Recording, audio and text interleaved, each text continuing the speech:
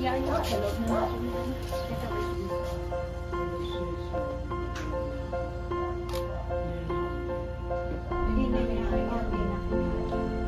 Tapos yun, after 5 years, nag-metastasize sa lungs. Ah, sa lungs. Na, nasa lungs ngayon.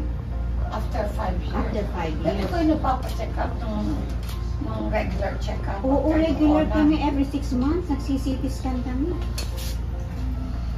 Ewan ko, ba't? Na-operahan pa nga ako. Yun na nga, yun yung colon niya. Sa colon. Oo, colon.